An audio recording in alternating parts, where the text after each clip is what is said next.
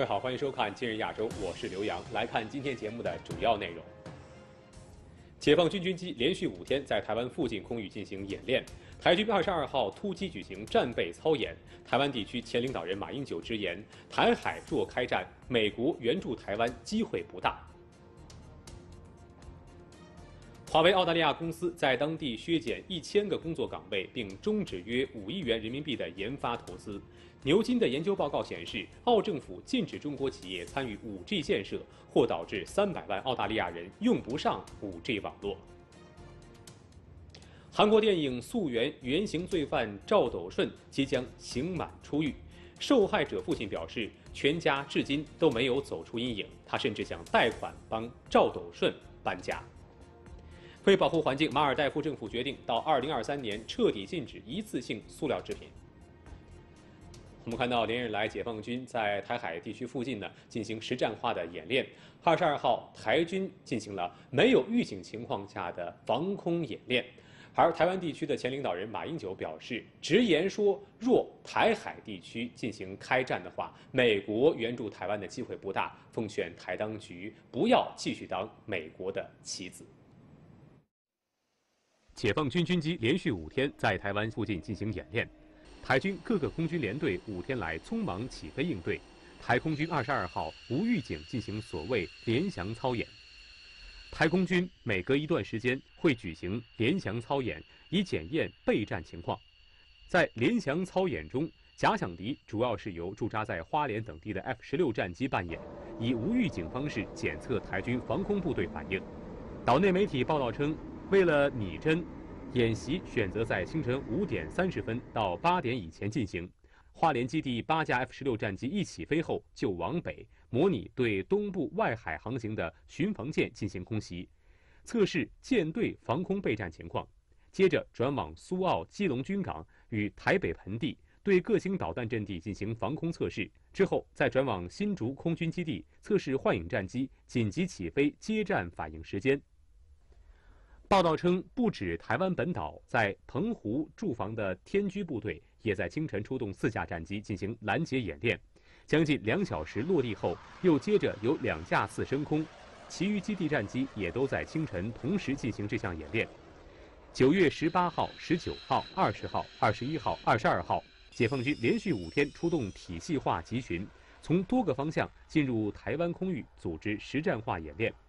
中国国防部新闻发言人任国强十八号在发布会上表示，今日开始，中国人民解放军东部战区在台海附近组织实战化演练，这是针对当前台海形势、维护国家主权和领土完整所采取的正当必要行动。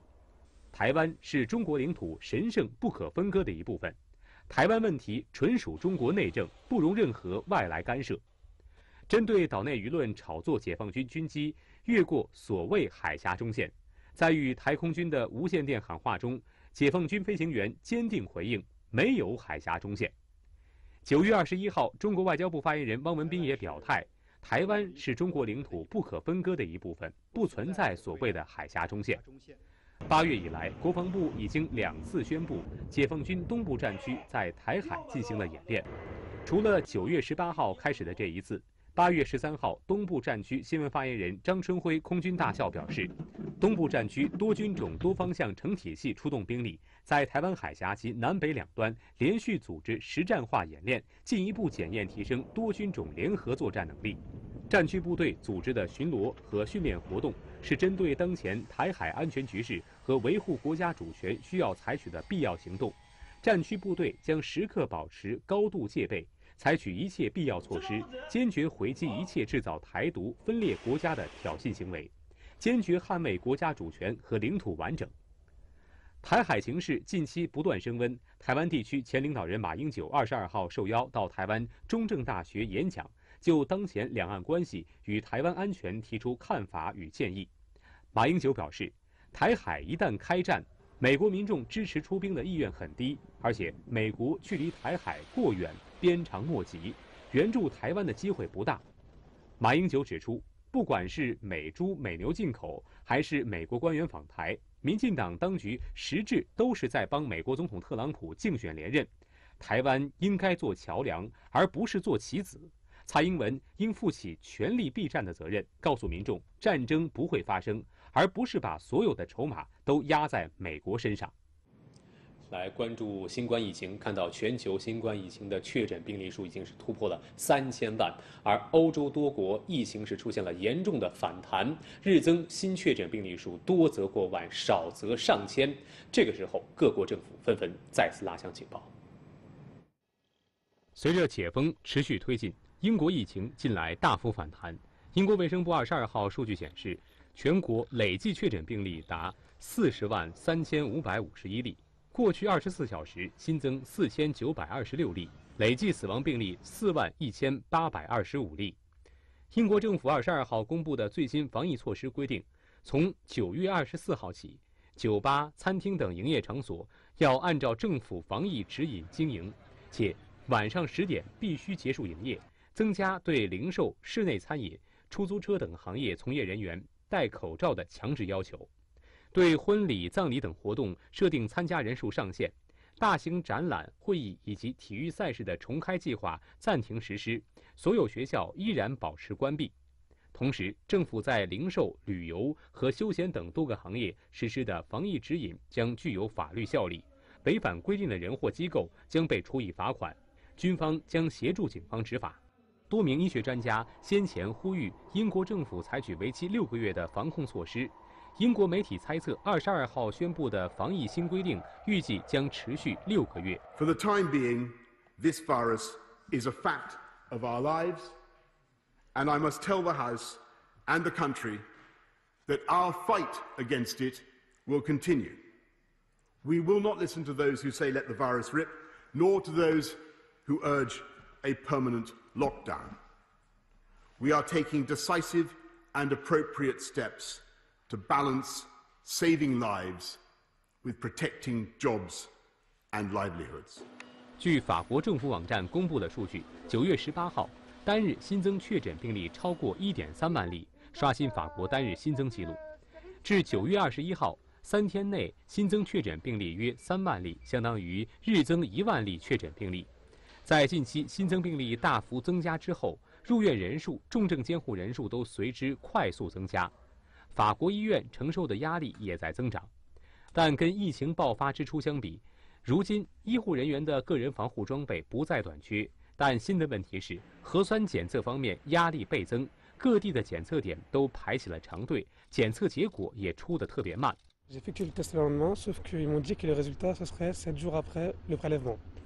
Minimum, sept jours minimum. Au jour d'aujourd'hui, j'ai fait le test le 11 septembre, nous sommes le 22, j'ai toujours pas eu de résultats. 法国流行病学专家、生物统计学家卡特琳·希尔表示，法国确诊病例数和聚集性感染持续激增，原因是疫情初期卫生部门开展病毒检测不足。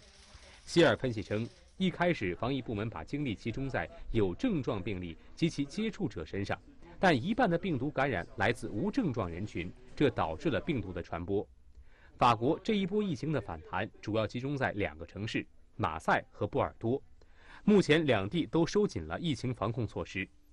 西班牙卫生部二十一号官方数据显示，过去三天西班牙累计新冠肺炎确诊病例增加了超过三万例，平均每天新增一万多例。其中，首都马德里大区新增病例占全国总数的百分之三十八。Está hasta la hasta arriba de de necesidad de atención, hasta arriba de pacientes. Nos organizamos lo mejor que podemos, pero necesitamos más sanitarios, necesitamos más refuerzos.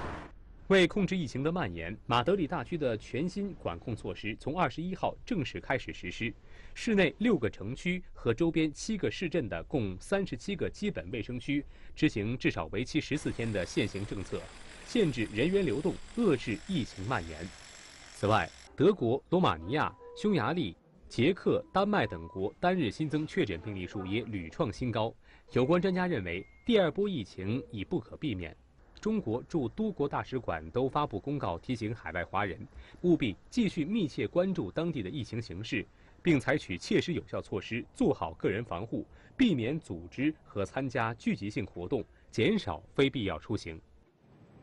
来看美国方面，美国新冠病毒累计死亡病例已经是突破二十万例，而美国总统特朗普却给自己应对新冠肺炎疫情的表现打分为 A 加。美国传染病专家福奇表示说，这一美国的死亡人数是令人发人警醒的。而同时，对于特朗普的表现，他说让美国民众自己打分。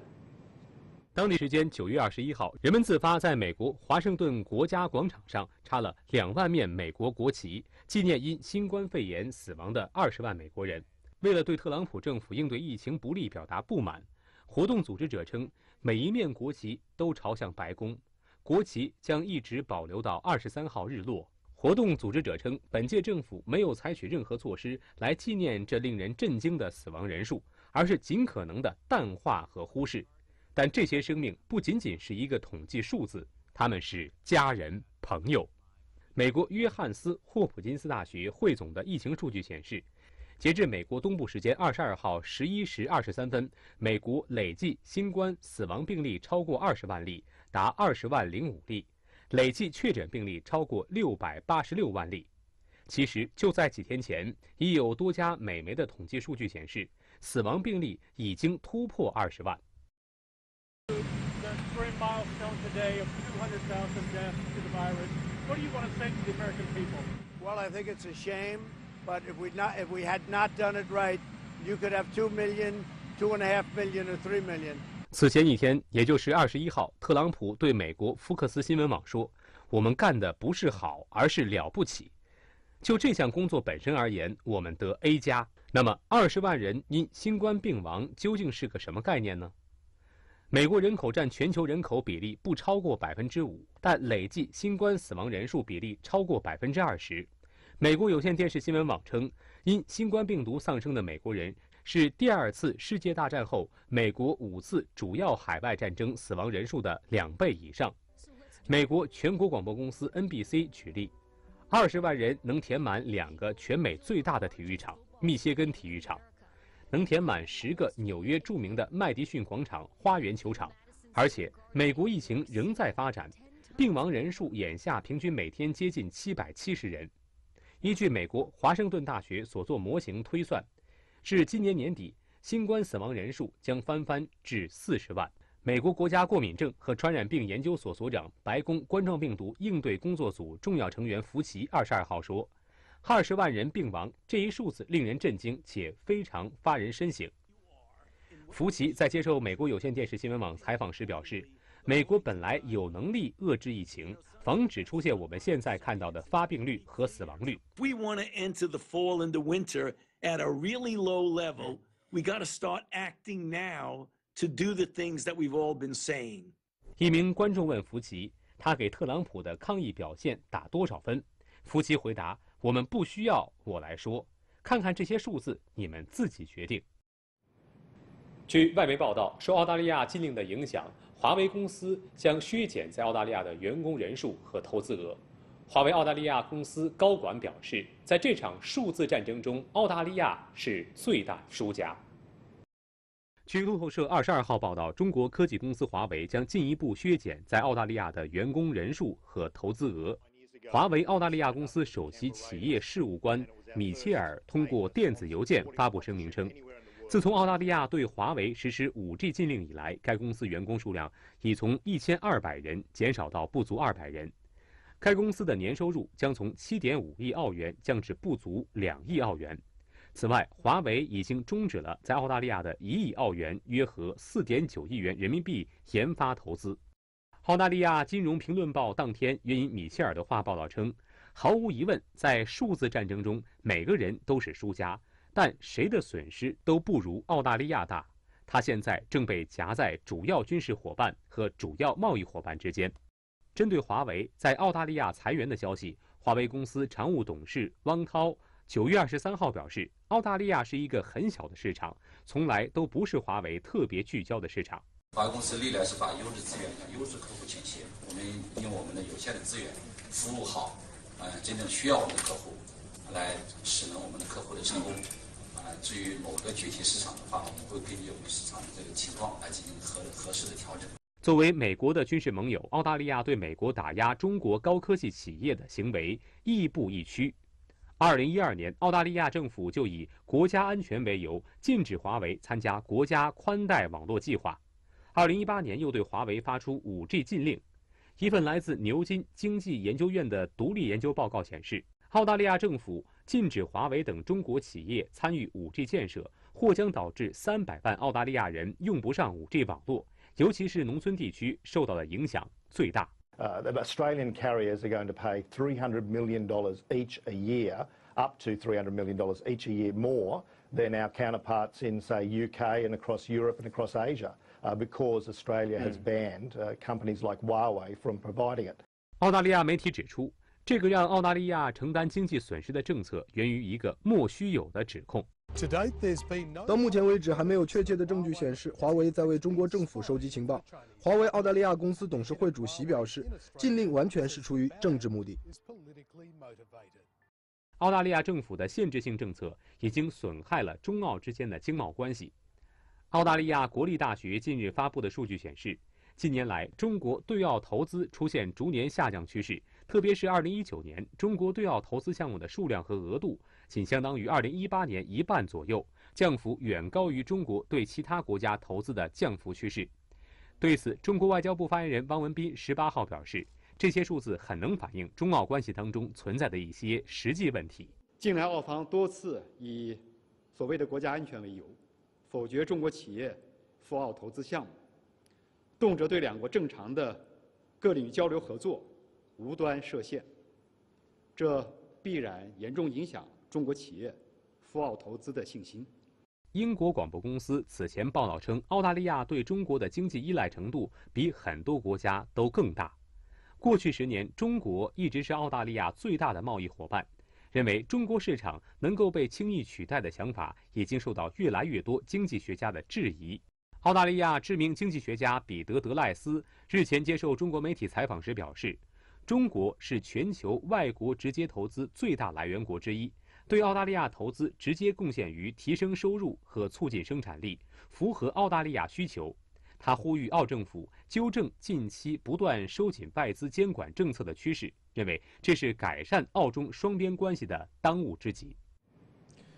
还有三个月的时间，韩国电影《溯源》的原型罪犯赵斗顺将刑满释放。受害者家属二十二号接受媒体采访时表示说，他们一家人一直生活在阴影当中。对于赵斗顺出狱后会回到他们所在的城市感到非常害怕。二零零八年十二月，韩国京畿道鞍山市发生一起恶性案件，罪犯赵斗顺绑架一名小学女生，并对其实施性暴力，致其百分之八十的生殖系统和部分器官永久破损，必须终生依赖人造器官生活。该事件发生之后，被拍摄成为电影《溯源》，并引发了广泛关注。今年十二月，赵斗顺就将刑满出狱，而他最近表明了出狱后将回到鞍山市的意向，这让当地人惴惴不安，尤其是受害者一家。受害者那英的父亲 A 某表示，他们全家一直生活在赵斗顺带来的阴影当中，一家人绝对不可能坐在一起嬉笑着看电视。不知从什么时候开始，那英只要一听到有关性暴力的新闻或话题，就会晕倒。我女儿现在在家里还穿着尿布。去长途旅行的话，会把最大的卫生巾放在包里。看到这些情景，为人父母的心情不经历过是无从知道的。但是听说赵斗顺要来我家附近，这样能接受吗？A 某透露说自己曾经很多次提议搬家，但女儿那英担心被新同学排斥，哭着说不走。因此，他们一家一直生活在鞍山市。A 某无奈地表示，如果赵斗顺可以离开鞍山，他甚至愿意贷款两三千万韩元帮其搬家。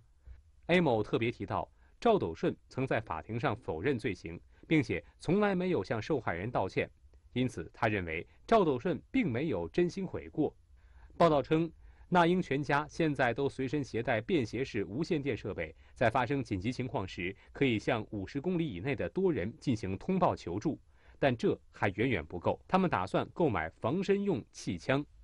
根据韩国的相关法律，出狱后赵斗顺的照片等个人信息将在网上公开五年，他还需要佩戴可以定位的电子脚镣，为期七年。韩国法务部等相关部门陆续出台相关对策， 计划在赵斗顺出狱之后，对他采取一对一电子监督、限制饮酒等措施。한명이아니라그래서저한개팀을줘가지고뭐신고나특이사항있으면은그법무부보관처소하고때에다가출동도같이하고但当地居民，尤其是学生家长，仍然对赵斗顺即将出狱的消息恐慌不已。 据报道，赵斗顺家周围一公里内有很多托儿所和幼儿园。여기로다시온다는건또많이알잖아요제일무서워요여기에대해서또특성상도잘알고그래서반대완전반대鞍山市计划在赵斗顺的住处周边偏僻路段等六十四个地点加装两百一十一个摄像头。 鞍山市长尹和谢向韩国法务部建议，尽快推动保护收容法的立法工作，对于性质恶劣的危险罪犯，在其出狱后的一定期间内实施强制收容。우리안산시민을보호하고피해자피해자가족이보호받을수있는그런보호수용법을긴급하게 不过，韩国法务部表示，即使保护收容法获得通过，也无法溯及并适用于赵斗顺。来看俄罗斯国防部二十二号发布通告说，俄罗斯两架图幺六零战略轰炸机当天专门沿白俄罗斯西南、西部和西北边境线进行飞行。白俄罗斯这一部分边境与乌克兰、波兰、立陶宛、拉脱维亚接壤。此次飞行是在俄罗斯和白俄罗斯正在举行的斯拉夫兄弟情2020联合军演框架内进行的。通告说，飞行期间，俄战略轰炸机在白俄罗斯战机的配合之下，演练了向两国参演地面部队提供掩护的任务。好，更多内容再来看一组速览。二十一号，澳大利亚救援人员在塔斯马尼亚岛附近海域发现有。二百七十头巨头鲸搁浅，其中三分之一估计已经死亡。救援人员救出二十五头最初发现的搁浅鲸，用安装特殊吊索的船只引领搁浅鲸回到开阔海面。二十三号清晨，救援人员展开空中勘察，查看还有多少头鲸幸存，却在这批鲸搁浅处七至十公里之外发现另外二百头鲸搁浅，令当地搁浅的鲸的数目。增至大约四百七十头。马尔代夫以清澈的海水和美丽的风景吸引着全球游客，但是平均每名游客每天都会产生两至三公斤的垃圾，其中大部分为塑料垃圾。马尔代夫的一家酒店率先尝试禁止一次性塑料制品，改用可重复利用的水瓶，并将洗发水和沐浴露瓶改为陶瓷材质。为了治理塑料垃圾问题，马尔代夫政府召开水下会议，决定通过到2023年彻底禁止一次性塑料制品。近日，美国航空航天局 NASA 对外公开了一项全新的登月计划，这项计划被命名为阿尔特尼斯计划，预计耗资280亿美元，约合人民币1900亿。在这项计划中，NASA 希望能够把首位女宇航员送上月球。最快将会在二零二四年实现，届时这位女性宇航员将成为全球首个登陆月球的女性。二十二号，世界上最大的破冰船“北极号”核动力破冰船从俄罗斯圣彼得堡出发，前往北极地区。